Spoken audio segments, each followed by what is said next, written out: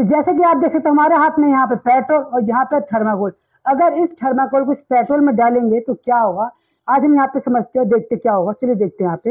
ये रहा हमारे पास यहाँ पे पेट्रोल इसके हम डालना शुरू करते हैं यहाँ पे थर्माकोल। और जैसे ही डालेंगे, आप देख सकते हो कि क्या है बड़ी तेज़ी से गल रहा है, मेल्ट हो रहा है।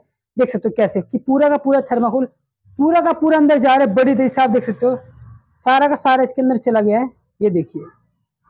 ठीक है? पूरा गायब हो चुका है।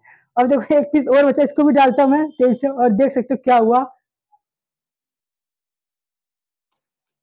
पूरा का पूरा गायब हो चुका आप खुद देख सकते हो इसको। देखो, पहले दो लीटर, तीन पीस और लेंगे, और इनको एक एक करके डालते हैं, ये एक साथ डाल के देखें क्या होगा। देखो, दूसरा पीस भी डाल दिया, तीसरा, चौथा, सब डाल दिया मैंने, एक के बाद एक, देख सकते हो आप कैसे बड़ी तेज़ी से मेल्ट हो रहा है देख सकते हो, पूरा का पूरा रिएक्शन आप अच्छे से देख सकते हो, कि तेज़ी से रिएक्शन कर रहा है ये। निकल गया है, और इसको दोबारा डालते हम, ठीक है, और देखो ये, देखो आप।